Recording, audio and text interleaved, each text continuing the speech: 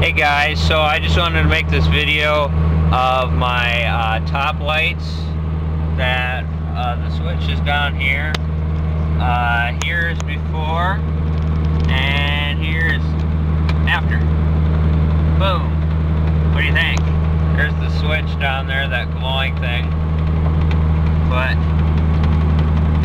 off, on. And then here's with the bright headlights too. There's bright headlights. Oh shit, that's a mailbox, never mind. I thought that was a deer for a minute. But, the lights throw it pretty good.